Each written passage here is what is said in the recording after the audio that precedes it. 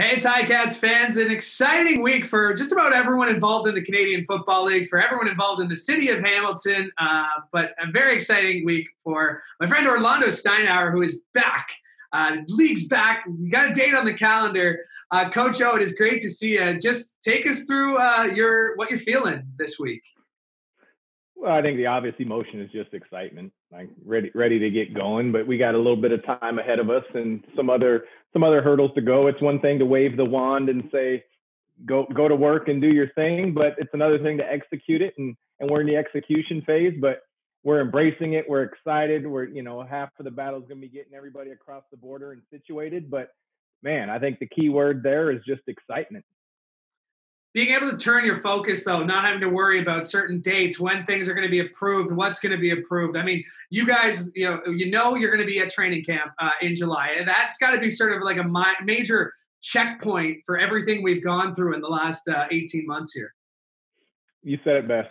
That is that we have we have some definite dates and some timelines to be met and at the end of the day and you know august 5th we're going to be playing some football and I think the key word there is just play, where everybody's going to play. And I know it's long awaited, and there was a lot of heartache and pain, and a, uh, for some a, a, painful roller coaster ride. And and uh, it's something that we all didn't uh, anticipate, first of all, and I'm not sure we we've ever experienced it. So it's hard to prepare for those type of things. But that's all in the rearview mirror now. We're rolling. We're ready. To, we're ready. We're full steam ahead.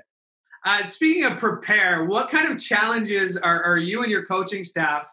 Uh, obstacles, challenges, whatever you want to call them, with no preseason games. Uh, that how how much is that going to make those one-on-one battles in camp? Uh, how how much difficult is that decision going to be made for for you and your staff? Yeah, well, there's difficult decisions that are made every year, right? Whether you have preseason games or not, there's always players that you want to keep that you have to let go. There's injuries that happen that you didn't see or you didn't forecast.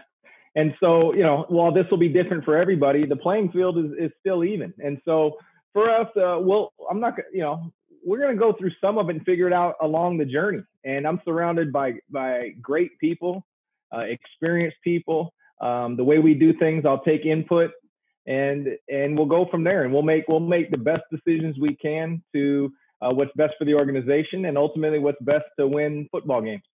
Now, are you someone who, who visualizes? Are you, are you a visualizer? Do you get your team to visualize? I mean, because I'm just thinking in my head, I've, I've replayed that Labor Day Classic home opener. However many fans are in the building, it'll feel like it's full. But eh, eh, what do you kind of think of when you think of that that home opener Labor Day Classic? I actually think about Winnipeg. That's really that's really what I'm focused on. And I, I know said like a true that, coach. Said like a true coach. I believe it. But, but, but, it's the truth and it's from the heart. Yeah. Uh, will it be awesome to get home and play? Did I look at it on the schedule and know when we? First of all, you know when the Labor Day game was, when we were going to play at home, of course.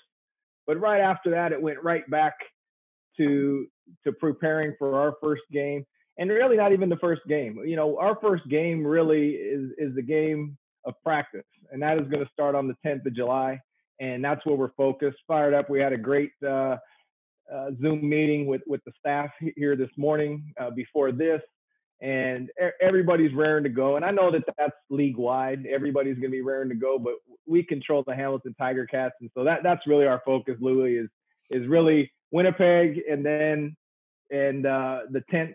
But of course, everybody circles Labor Day. Come on. Um, I mean, yeah, I, knew what I was asking there, coach, and I knew, you know, one game at a time is the mentality that, that you've preached for, for a long time. But you have to be excited about the, the guys you're bringing to camp and, and, and just, you know, the iron sharpens iron mentality that these guys are going to be playing with in camp. I, I, for for you personally, what what are you most excited about once you get this group of people together? Just football, being around them. Like there's just there there's things that don't go into your description or your title. There's just being around football, being around it's the atmosphere. It's it's, it's how you feel. It's it's starting a, a new journey, you know, trying trying to do accomplish. Everybody knows the goal, right? But it's what you do in between and and what are your stepping stones to get there. So I'm excited for the competition. I'm excited uh, for the coaches to expand everything. I mean, you've got equipment people, therapists, presidents, GMs, personnel people, all that are invested in this thing. You know that um, you know strength and conditioning coaches. You've got everybody who are just chomping to get out there. So I'm excited to just ride that wave of energy and, and positivity and then uh, just see the smiles on the players' faces and watch them bond. I just love it. I, I, won't take it personally. You didn't include digital hosts in that list of just about everyone who works in this organization, but uh, you know that's that's okay. I'm excited too, Coach. But uh, I did want to get your thoughts on just a couple of acquisitions. Of course, your first overall pick in the 2021 draft, Jake Burt. I haven't had a chance to talk to you about him, but what are you most excited about? Uh, what he could bring to your lineup? Just for for Jake, it's he loves football. It's it's very apparent. Like he's passionate about football. Like you can teach X's and O's, but you don't you can't teach heart. It's hard to teach character and and and those type of things, those intangible things that you bring to the table. And and Jake brings those. His physical stuff is easy to identify. You know, we love his skill set on the football field, but we love him as a person and his makeup. We love what his coaches and and and or, other organizations have said about about him. Uh, loved it one-on-one talks with him. So I'm actually excited to just feel it now, feel it live, and, and see that. As far as you know, his his physical presence, you know, we think he can he might be able to spread out and catch some passes. I think he's tough enough to be in the box. Uh, he'll be able to contribute uh, on special teams mainly because he has the mindset that he wants to. But some of that'll be a feel out too. It's football's an inexact science. You like to predict where every player is going to go and how it's going to work out, but that doesn't always happen that way. So uh, we just want him to come in and be himself. And uh, Tommy will have some special situations uh, for, for, for Jake for sure.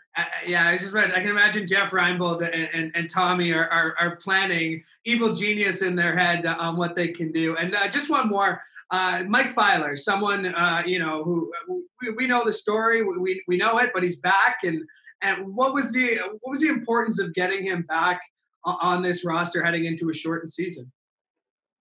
Yeah, so to get Mike back, first of all, you're you're getting a person that is basically a lifetime Tiger Cat. He is still hungry. He's committed. He's just an outstanding individual. Uh, he is willing to play whatever role. He'll come in and compete for whatever is necessary. And those are there's just so much that Mike brings to the table that you can't just get on what you see on film. And he he wanted to come back. Uh, we wanted him to come back, and uh, you know he was fully uh, entrenched in possibly the next chapter of his life, and just it just speaks to the man that he was open and willing. And you know he actually sent me a video the other day of him of himself training and and just saying he's ready to come in and, and compete. And those are the things that people don't see that they need to realize that it's more than just um, how many years he's played. It's he brings a lot of quality uh, to the field of play um, on the field, but also a lot of quality off the field that is, is really unmatched usually. Uh, Coach, you know, first time uh, giving you an opportunity to speak to the fans since we've uh, had a chance. So, uh, a message for all the Tiger Cats fans out there. What do you want to say? shoot, here we go. Uh, I look forward to seeing as many as they're going to allow. Uh, we want to see all of you out there. I'm fired up for it. I remember uh, we had a talk like this and some things that we were being creative. I think we said that we were going to try to get the wave going in the uh, in in Tim Hortons field. So I look forward. That's the challenge that I'm going to send to you guys. Let's make that thing loud and rock it as always. And just looking forward to seeing everybody.